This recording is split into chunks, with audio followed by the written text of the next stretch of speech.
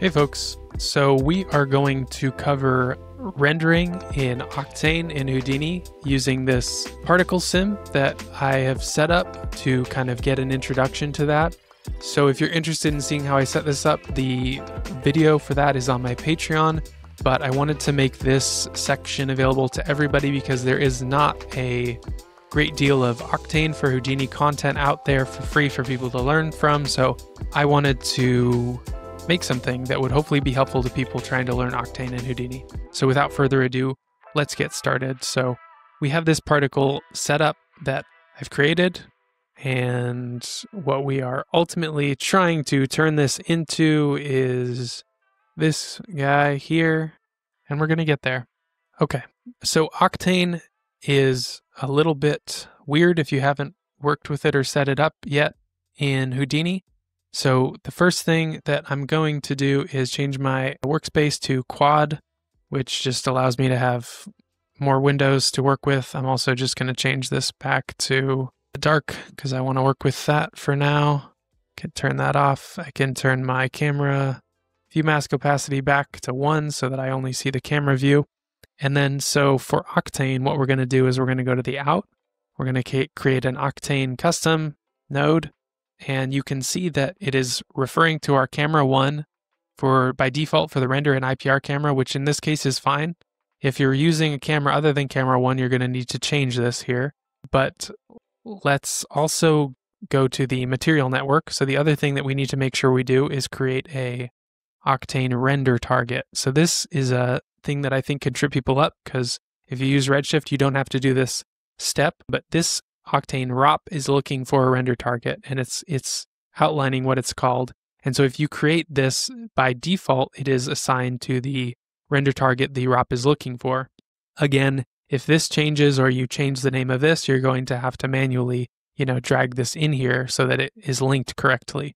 But this is your source for Octane render settings. So these are, if you've used Octane in, let's say, Cinema 4D or something, these are all the familiar kernel controls and everything that you should be used to. If you're using Octane for the first time and it's in Houdini, then this is where you control a lot of the Octane render settings. So the kernel here, which you're usually probably going to be using path tracing and adjusting the, you know, sample count to whatever you want and adjusting all these settings to your liking. So this is where you'll find most of the settings to play with for how Octane is operating. So after that is set up, you can also adjust your environment here. So this is where you would set up the backplate. You have these options here. You can also change the environment itself. So this is where it's looking for the environment. Let let's fire up the IPR here just by clicking open IPR on this Octane ROP. One element that I may have overlooked in this case was the Octane object tab on this geometry node at the object level. I want to click on packed geo instancing because these are packed instances here and otherwise it's going to take up a lot of memory and I'm thinking that might be why Octane did not want to start up. Yeah. I think that I was right. So let's see. That's what we have so far, which is fine it's out of focus. So let's hop back into our render target here. And let's go into camera. We want to do universal, set, turn off autofocus, and then we can set the focus here, wherever we want it in our scene. And then let's see about this environment. So black backplate solid. Let's go to the backplate tab. Let's go to black for now. We could also do a gradient, linear play with doing that. Really easy way to get gradients in render, you know, if you were wanted to do that as opposed to adding them in compositing. But for now, let's just do a black solid. That's going to be the look we're going for. There is a default lighting setup in the Houdini version of Octane. Yeah, Houdini specific here, and it sets up a default lighting scenario with several different lights around. And, you know, you can play with this, but again like this is only meant for previewing purposes i think unless i don't i mean i haven't really played with it maybe you could just use that as a rendering setup um, i haven't tested it enough to know. But let's create a material context and create an Octane material builder and then just drag that onto our, well, whatever. Let's just control copy and go into the render and paste it there. And let's set this here to full scene reload mode, just in case. Sometimes it misses certain updates. If you, let's say you're jumping around frame to frame, if you don't have this enabled, sometimes it misses updating certain aspects. And again, in the ROP, the out ROP, I would also recommend setting the rendering mode to full scene reload before you render out your sequences or images or whatever. Back in the material context, we can, instead of preview, change this to texture. We got to give it a texture to use. So in this case, I have a Greyscalegorilla one that I can use here. You can transform it as well. And then we can go back to our material context, start changing things here. So Octane allows you to use attributes from your geometry and it's it's seems fairly straightforward. You indicate which attributes you'd like here and then in the material you grab a color or float vertex attribute. D- ignore that it says vertex, it can read point attributes too. It just is, it says that for whatever reason, but it can read point attributes and you have to declare them here. With instances, it's a little bit more confusing. And so this is something I had to figure out, and it took me a while because I use instances a lot. And I also use the color attribute on those instances a lot too. So it's something that I needed to figure out and took me a while because I haven't used Octane a ton in Houdini. So in our particle sim, we definitely do have a color attribute that we were using. You can see there's random colors on these, but we need to access those. So the way that we do that is by adding a custom attribute on instance, point attribute CD, and then we need to assign it to. So it's like you might be thinking, if you're just opening this up, where do I assign it to or whatever? But if you hover over this, it tells you this node must be a texture instance color node.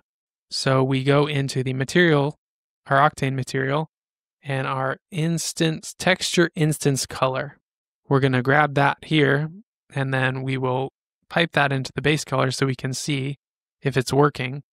And then we need to remember to go back and assign it to now that it senses that there is one in the material context, it will highlight it in this dropdown. So then we click on it and let's see if we can get it working. Cool. So now you can see our color attribute is coming through on instance geometry, which is great. But one issue that I have not been able to resolve yet is how to use the ID point attribute to drive the color. When I use ID attribute, it goes pure black, even though these points definitely do have an ID attribute. Yeah, I still haven't been able to get the ID uh, point attribute to work. So that's something that if anybody knows how to make that work, please let me know because I, yeah, still don't know. But for this particular case, it, it doesn't matter. But if we had a changing point count, we would really need that to be working so that we could apply consistent color attributes to that. So if I figure it out, I will try to include that somewhere in the notes or something. But otherwise, if anyone knows, please leave a comment so that we can all learn from that. All right, so now we have that color attribute accessible at the shader level. We can use that as a input for a gradient let's say from black to like a gold color. Cool. And if we wanted to instead, we could use a uh, material mixer and another standard surface and instead use the the gradient to blend between these two. And so we could set up different materials. So if we wanted these to be able, to, if we wanted the ability to give these, you know, different um, different attributes, on the material level. Like if we wanted some of them to glow or whatever else we could do. In this case, I don't think we need that, but we can leave it as it is. Just going to turn on metalness fully for both of these. And then again, adjust this color a little bit here. Cool.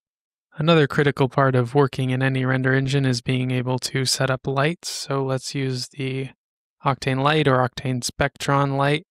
We can look through lights in Houdini. So let's uh, do that. All right. Set this up here. You can see we're getting some highlights from that light.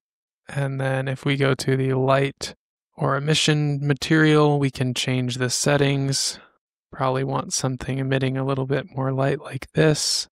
And then in the, we can adjust the power as well or the color. And then in the material context, again, let's go back to the render target and go into the imager to play with all our standard Octane tools. I tend to use ACES tone mapping, but because it gives, you know, more flexibility, I think over the distribution of highlight values and I think some richer colors too. So I tend to use that. You can turn on denoising if you use that, upsampling as well. Um, you can add in some saturation here. There's also the post processing tab. So glare and bloom are going to give us some nice shiny highlights here. Can also add in some of the other post effects if you are so inclined. And you can add fog too in the post effects here if you're not familiar with Octane, but think we're not going to do that for this particular situation. AOVs, you can see one, at least noise is on by default. We also probably want to turn on post processing if we want that AOV. If you turn that on, you won't be able to see the post effects in the render view because it will create an AOV for post processing specifically. All right, cool. So that is most of the setup for the render. It's I also set up the camera to have some depth of field animation. So, you know, over let's say over the course of 200 frames, we could set up an animation for the focal length of the camera, or uh, not the focal length, the focus distance. So on the sampling tab, right? So if we click to focus and we want to grab, let's something here, maybe even, can we grab something farther back there? Yeah, like grab something back here, make a keyframe, go forward, you know, to 200 frames or so, and then set a new focal focal length keyframe here. Go into the animation editor. For something like this, I would tend to use linear interpolation. And then if you want to, you could also set up a camera animation. So, a simple way to do camera animations is to set up a null. And if you've already set up a camera view, you can just move the null to just about the center of that camera view and then go to your camera, constraints, look at, select your null, press enter, press enter, and then it's going to be looking at this. So now we could go and add keyframes as well, and it's going to have a nice little target for us to do that. So that's how I would set up the animation too. That is pretty much everything in terms of setting up this render that we just created and getting Octane ready to go for Houdini. Things to be aware of in the ROP is the full scene reload. I have had better experiences leaving this on than not. You got to change it to frame range if you want to re- render multiple frames. These default settings should be fine if you are rendering to EXR.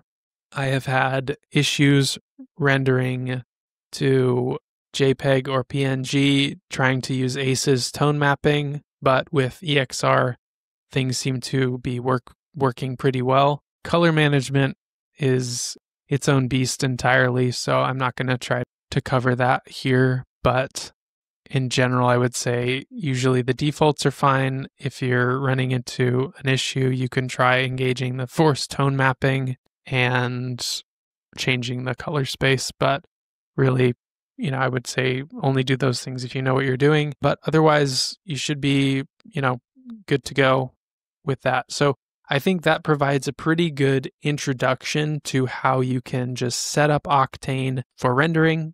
And if you're interested in seeing how the particle system was set up, please head over to Patreon and you can look at the tutorial I've posted there to set it up and also grab the the project file that we've set up here. Thanks for checking this out. I know there's not a lot of great Octane for Houdini content out there, so I'm I'm learning it and so I'm trying to produce some of that as well so that uh, we can get more people on board. So thank you for for being here.